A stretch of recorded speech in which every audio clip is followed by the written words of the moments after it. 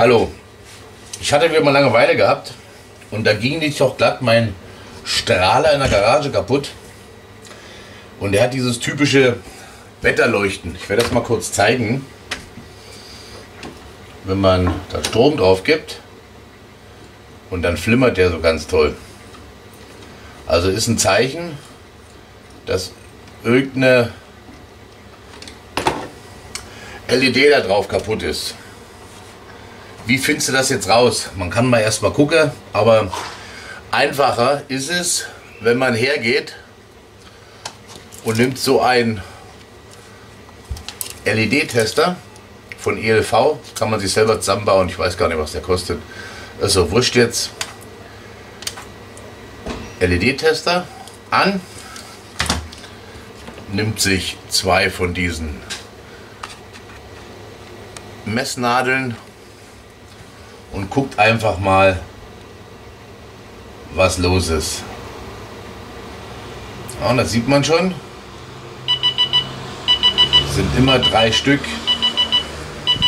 aneinander.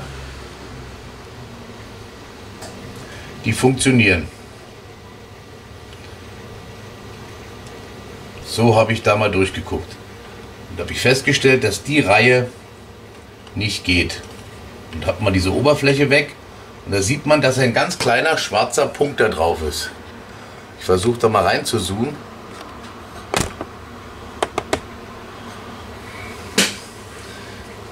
Hier drauf ist ein ganz kleiner schwarzer Punkt. Hier. Da. Und die werde ich jetzt mal auslöten. Ich habe mir neue bestellt. Mit der passenden Stärke und so weiter.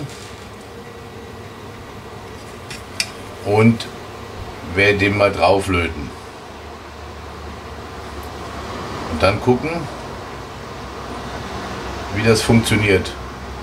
Ich hoffe nur, dass der Händler mir nicht neutral weiß geschickt hat, aber das sieht schon so aus. Und ich habe kaltweiß drin. Naja, die eine macht Kraut nicht fett. Also ich mache das jetzt mal, ich löte das jetzt mal aus. Und dann schauen wir uns das mal an, ob das funktioniert. Okay. Geht gleich weiter. So, jetzt geht es wie versprochen weiter. Ich habe jetzt alle LEDs dran, die leuchten. Ich habe jetzt mal so eine Scheibe davor, dass man sieht, dass alle LEDs gehen. Das funktioniert alles. Bewegungsmelder habe ich auch eingestellt. Ich gehe mal ein Stückchen weg, dass, das dass man sieht, wie das funktioniert. So. Und Lampe funktioniert. Nochmal kurz zur, zur Sichtung.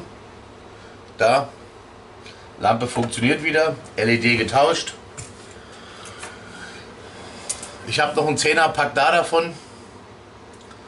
Also ich kann noch mal 10 Lampen reparieren oder vielleicht nur zwei oder eine, je nachdem wie viele LEDs kaputt sind.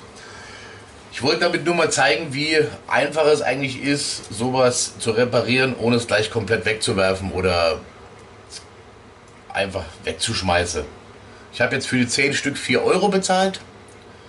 Ein bisschen Messzeug, ein bisschen Geduld und natürlich Vorsicht, 220 Volt, immer Stecker rausmachen, nicht reingreifen und so weiter und so weiter, dass man halt nicht da noch sich verletzt mit dem Strom. Also äußerste Vorsicht. So, das war's wieder mal. Ich hoffe, dass die Langeweile mich nicht so arg übermannt. Bis zum nächsten kleinen Langeweile-Projekt. Okay, tschüss.